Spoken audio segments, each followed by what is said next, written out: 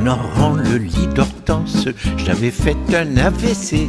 Vers 11 heures, tout en transe, elle appela vite les pompiers qui rappliquent en ventre à terre, dirent au bout d'auscultation.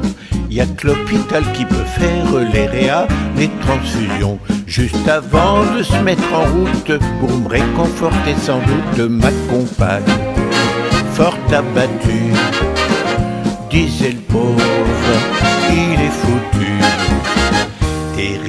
La pauvre Hortense, ainsi mise au pied du mur, vite arrivée l'ambulance et deux infirmiers du SMUR qui prenant sans état d'âme le problème à le corps, dire sans rire à ma pauvre femme, normalement il devrait être mort. Et pendant que l'ambulance à tombeau vers ses lances m'accompagne, fort abattu, répétait, il est foutu.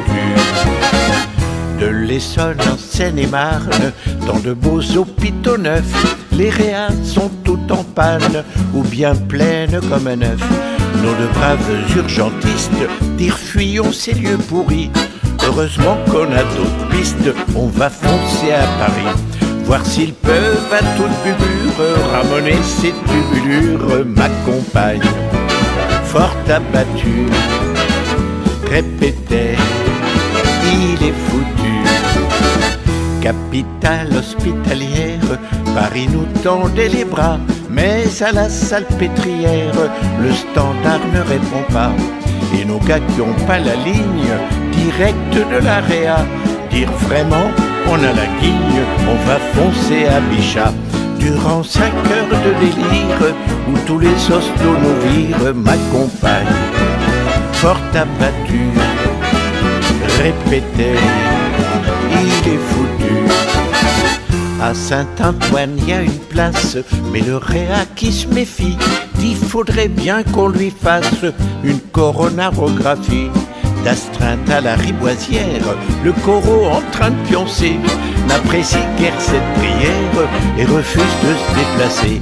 Des six heures à la pendule, mon cœur est sur les rotules, ma compagne, fort abattue, répétait il est foutu. Dans le couloir de la riboisière, mon dernier souffle venu, quand j'ai fermé les paupières, les docteurs ont apparu.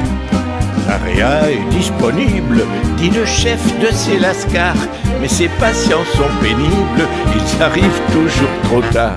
À six heures et quelques brocs, quand j'ai plié mon pébroc, ma compagne, fort abattue, sanglotait, est foutu. Ma compagne, fort abattue, sanglotait, il est foutu.